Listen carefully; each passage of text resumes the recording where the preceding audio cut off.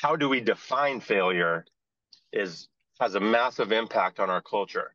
And so this is where the winning piece comes in. Winning is a tangible proof of a job well done most of the time.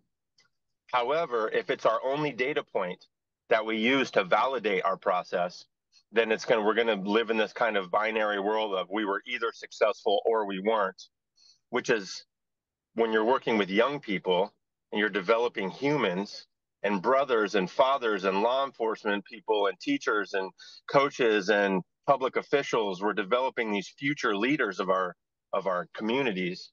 It can't be the only that cannot be the only data point. Did we win or lose this game?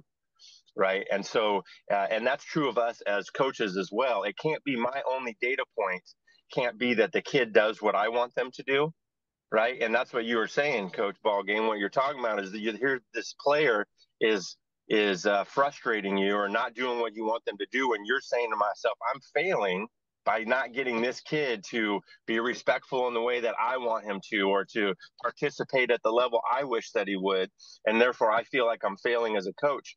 But if that's your only data point, then when kids, we know what we know that they're on a really difficult journey to become a, a full adult um, when they don't show up the way we want them to, then it's going to really impact us, uh, the way we see ourselves, the way we talk to people. So redefining failure in both instances, for me as a coach, I think the failure would be if I give up on a kid. That's my probably my truest definition of failure as a coach.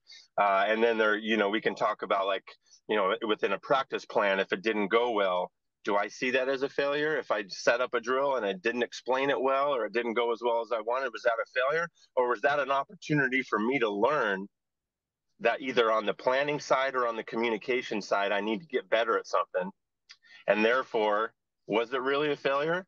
It was a, I, I'm learning along with my own players. And similarly for the players, within a game where they don't end up with more runs than the other team what there are successes to get that you even got there in the first place.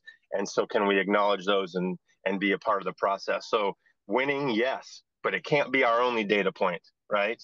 Uh, and similarly having something go the way we want it to go great but it can't be our only data point. We need to we need to widen number of data points we use to evaluate um, yep. success or failure